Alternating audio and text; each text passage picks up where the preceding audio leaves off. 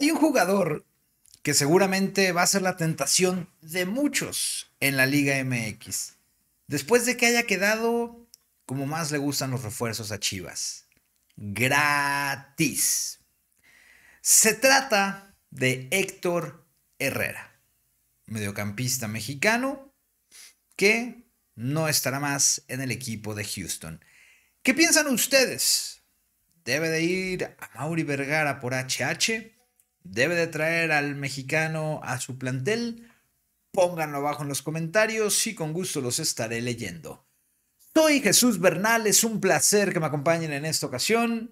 Muchísimas gracias por el favor de su atención, por suscribirse, comentar, compartir, dar like. Ya lo saben, me pueden encontrar en todas, en todas las plataformas como Jesús Bernal para que vayan y tengan acceso a muchísimo más contenido.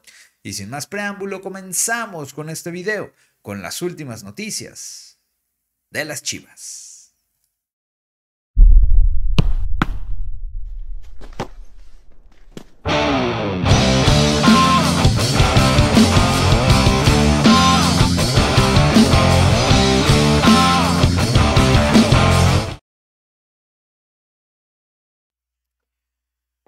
Bueno, pues eh, el día de ayer se dio a conocer la noticia de que Héctor Herrera no seguiría más en el equipo de Houston Dynamo. Decidieron pues no continuar con la relación laboral entre el jugador y la institución. Todo después de que el futbolista fuera expulsado en un enfrentamiento y él decidiera escupir cerca de donde estaba el árbitro lo que no fue bien visto por el club y decidieron limpiarlo y darle las gracias. Esto en automático, pues lo convierte en agente libre. Lo convierte en agente libre. Y vaya en qué momento. Justo cuando está por abrirse el mercado de fichajes en el fútbol mexicano. Entendamos el contexto de Héctor Herrera. Pues Héctor Herrera es un jugador ya veterano, que ya tiene su experiencia en el fútbol, que ya jugó en Europa, o sea, ya tuvo sus mejores años, que tiene una calidad técnica sumamente buena y que ahora eh, pues eh, está en búsqueda de equipo. Básicamente ese es el, contexto en el que, en el que se, encuentra Héctor Herrera en estos momentos. Acá vemos un poco de su palmarés. Ya, como les digo, ya es un veterano, tiene 34 años, mediocampista nacido en Tijuana, de nacionalidad mexicana, y que eh, pues no, le, no habrá renovación de contrato por parte del equipo de, Houston Dynamo hacia HH, ¿no?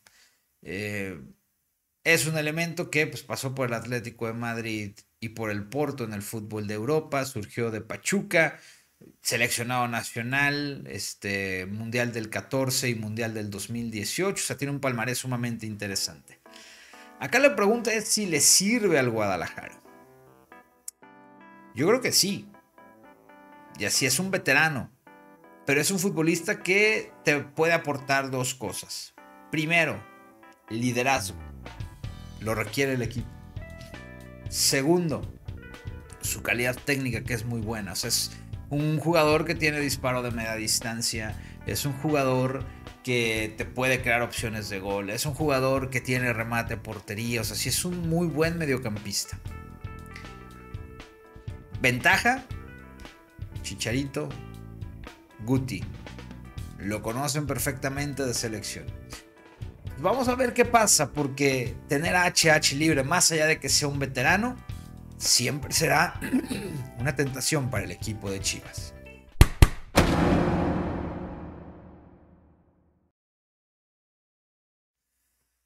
Y bueno, pues el Guadalajara, el Guadalajara todavía aspira, todavía aspira a poder clasificar a, a la liguilla.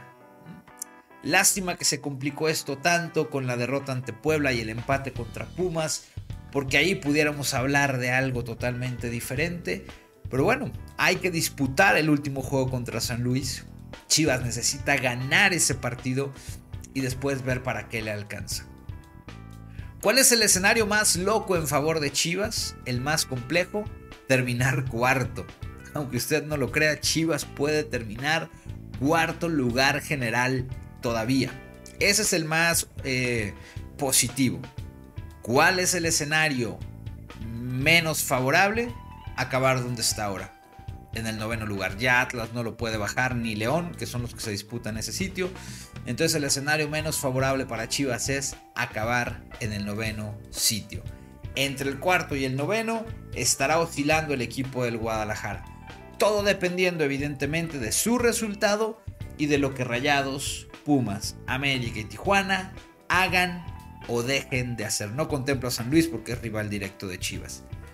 Si Chivas gana, hay opción de entrar directo. Si empata, no.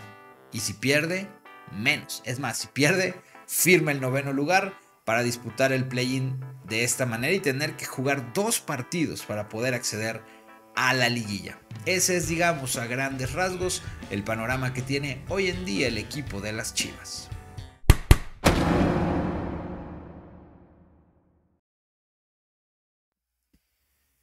Y bueno, eh, su rival va a ser San Luis.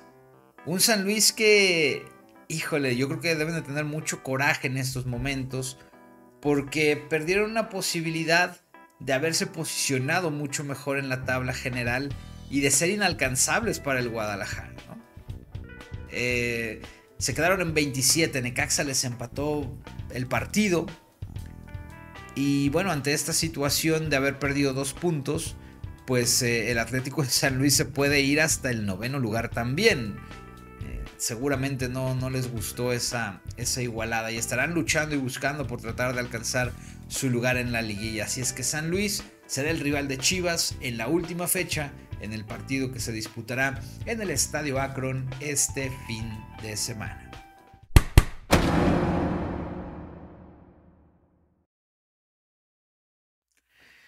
Y ya para terminar, ya para terminar, mencionarles a todos ustedes que el equipo de las Chivas estará, bueno, ya terminó su sesión de entrenamiento de hoy jueves, ya acabó. Le queda solamente la de mañana viernes y el mismo viernes después del entrenamiento concentrarán en su hotel. Eso es lo que marca el calendario para el equipo del Guadalajara la última concentración de la fase regular porque al menos tiene garantizada una más en el tema del play-in.